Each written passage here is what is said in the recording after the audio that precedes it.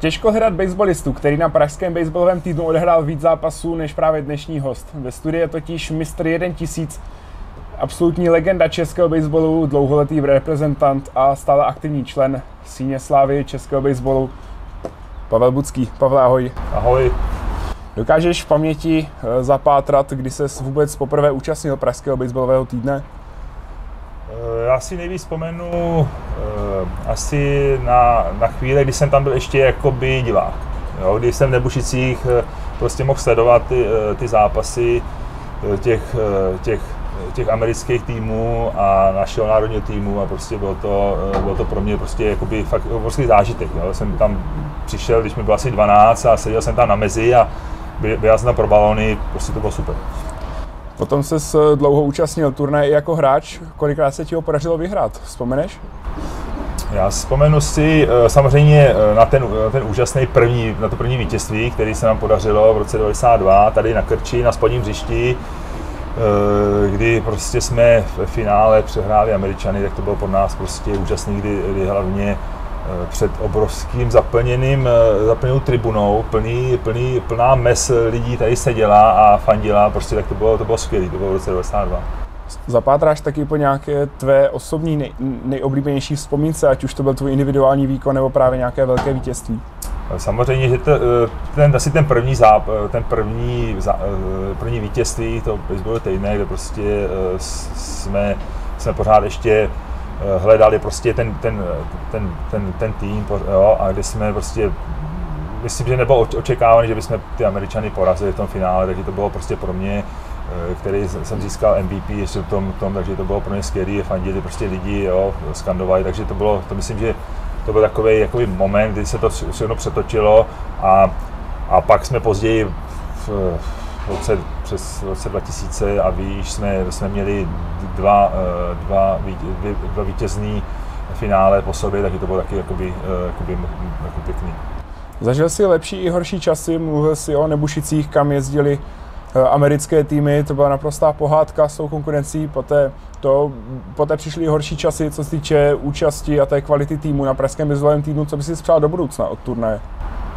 No každopádně, aby, aby samozřejmě zůstal ten turnaj, je to, je to prostě skvělá tradice, Eh, samozřejmě vždycky chceme, aby, aby eh, ten turnaj byl co nejzajímavější, aby měl co největší, eh, největší, nejvyšší úroveň jakoby sportovní. Aby to nebylo jenom prostě jenom, že se tady odehraje, ale by opravdu to mělo nějakou jako velkou úroveň. Takže bych chtěl, aby samozřejmě se přijeli prostě špičkový týmy z Ameriky. Jo. Radši bych třeba měl třeba menší formát, třeba míň týmů, ale prostě jakoby kvalitnější a opravdu, aby měli dobrý servis, aby prostě sem přijeli a řekli, mají to tady prostě fakt super zajištěný, aby měli eh, dobré podmínky se roz, dobře rozcvičit, aby se tady nespěchalo mezi zápasama a tak dále. Jo, nesnaží se to prostě smačknout co nejvíc zápasů, nedělat z toho masovku, ale, ale udělat z toho radši prostě men, men, menší, ale kvalitu. Pavel, ty i v letošním roce působíš na PBT ne jako hráč, ale jako trenér reprezentace do 18 let. Eh, kluci z 18 včera dokázali zaznamenat eh, dvě výhry, první místo ve skupině postup do semifinále, jak se zatím daří 18 turnaj? Bylo to, nástup byl perfektní, soupeř nás teda moc nepotrápil, Švédi eh, udělali nějaké chyby, natazovači nebyli tak dominantní a nám se na pálce zadařilo a i natazovačský jsme házeli strajky, takže bylo perfektní. Slováci, druhý zápas, Eh, ty neměli moc kvalitního rozvače, který prostě strašně bojoval se strike zónou a, a nebyl schopný prostě dávat strajky a, a tím, tím, tím tím jsme chodili po metách, do toho přišli nějaký odpaly, které nezachytili a, a udělali taky chyby, takže jsme vyhráli uh, dva zápasy o 10, takže nás moc neprověřili. No a teď uh, dneska, jak je, jak je mokro, nebo se hrát, tak asi půjdeme přímo rovnou do finále, to počítám.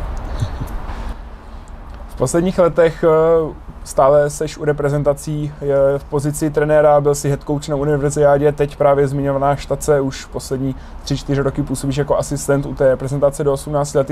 I toto pozice, na které bychom tě v budoucnu mohli vidět, našel ses i v tom trénování mladších reprezentací? To mě, po, mě požádal když si David Winkler, abych mu pomohl. Já jsem rád, že můžu prostě tam sejít, jo, snažím se ty kluky nějakým způsobem nasměrovat eh, můj cíl pro ně je jim říct, aby prostě eh, tomu dali, obětovali, aby prostě eh, Eh, zamakali, aby se prostě i na tom, na tom hřišti, aby prostě ten, ta, ta prezence, nebo to, ta, jak, jak, se, jak se prezentují na tom hřišti jako osobnosti, aby prostě to nějak vypadalo, aby, ten, aby, to, eh, aby prostě, když tady lidi se dívají, aby, eh, ta, aby to mělo prostě, ta, aby to byla reprezentace, aby to nebylo prostě nějaký, jestli se sejdou na, na plácku, aby, aby to mělo prostě nějakou takovou i úroveň, když třeba nemusíte uh, hrát prostě špičkově, ale musíte aspoň, aspoň, aspoň trošku u toho vypadat. Nejenom, nejenom vizuálně, ale i jakoby, jakoby Eh, herně.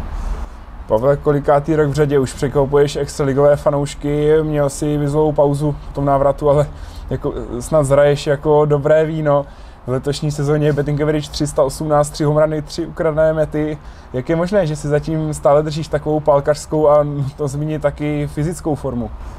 Eh, připravuju se v zimě, připravuju se, na, eh, využívám lyže na, na, na přípravu, Eh, nebo, nebo i se snažíme třeba si zahrát nějaký hokej nebo nějakou takovou, takovou kolektiv, kolektivní, kolektivní sport. A, a letos, jsem, letos jsem byl na tom dobře, že mě, že mě, tolik, nebo, eh, že mě tolik nebolelo. Oni, oni se měl bolavý rameno, takže jsem se trošku trápil. A letos tím je to dobrý, tak, tak uvidíme, jak to půjde dál. V letošní sezóně máte takový mini souboj na dálku s Alešem Navrátilem, přetahujete se o titul vůbec nejstaršího homranáře historie Extraligy. E, motivuje tě i toto v tom pokračování v baseballu, aby titul patřil tobě v letošní sezóně? Jste se navzájem snad už třikrát nebo čtyřikrát vystřídali na té pozici s Alešem. E, já jsem nad tím nějak nepřemýšlel nikdy, až potom najednou z toho vznikla takovej, taková bublina obrovská, kde prostě všichni za mnou chodili, ne to Aleše nemůžeš nechat, jakoby, jo, první, takže to, to mě jakoby i samozřejmě motivovalo k tomu a hned jsem vlastně ten další týden ten homran dal, ale pak jsem, pak běžím kolem těch met a říkám si, No jo, ale on je pořád starší, i když jsem ten odpál později, ten home run, protože on pořád je od, o asi měsíc nebo 20 dní starší. A to byl vlastně ten rozdíl, tam byl několik dnů, takže to bylo takový jako pikání, a tam chodili, je, ty jsi měl počkat ještě na to, říkám, to tak ne, nemůžu na to čekat, takže to bylo zajímavý, akorát eh, spíš čekám, jestli, jestli se Marek Kaliman jako neozve. Jo, to, to si myslím, že by bylo už těžké překonávat. Který je pořád aktivní, hraje za tempo a, a už jsem mu to i psal, jako že by se měl trošku pochlapit. Jo. Je to pro tebe motivace zůstat ještě v extraligovém týmu draků? Asi to není toto, ta motivace, jo, jo, snad se budu cítit dobře, jako klíčový je, aby, aby eh, rodina mě podporovala, manželka, aby mě pouštěla na hřiště a, a, a uvidíme, jak to, jak to půjde dál. Jako. Dokážeš odhadnout, jak ještě dlouho máš plánu brázdit extraligové kurty v České republice? Asi myslím, že už moc dlouho ne, teda. jako. Moc krát díky za rozhovor, Pavle. Uvidíme, jestli se nám umoudří počasí a budou, budou moct začít dnešní semifinále souboje. Každopádně ze studia pro vás dnes poreferoval Pavel Budský.